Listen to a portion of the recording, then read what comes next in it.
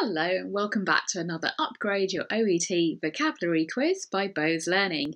In these quizzes, we look at everyday phrases that can be used by your patients, or you may hear them or read them in a healthcare setting, and I test your knowledge about what they mean. And today's quiz is this What does dry January mean?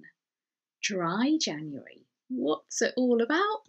Well, Here's a little extract from the website alcoholchange.org.uk and it explains exactly what it is. Start 2021 the best way possible with Dry January, the UK's one month alcohol free challenge.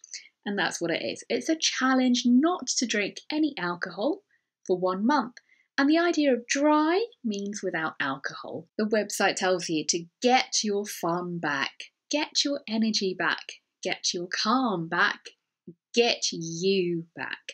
So the idea is that you can be a brand new, healthier, more energetic, calmer, and more relaxed person without any alcohol.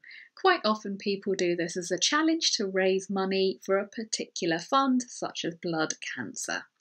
And that's the idea of dry January, refraining or abstaining for alcohol for one month.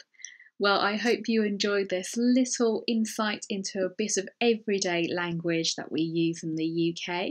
Don't forget to click like, share this with your colleagues, and subscribe, and check out some more quizzes for you to test your everyday knowledge of healthcare terms. For more information about our on demand courses, please look at the information box below.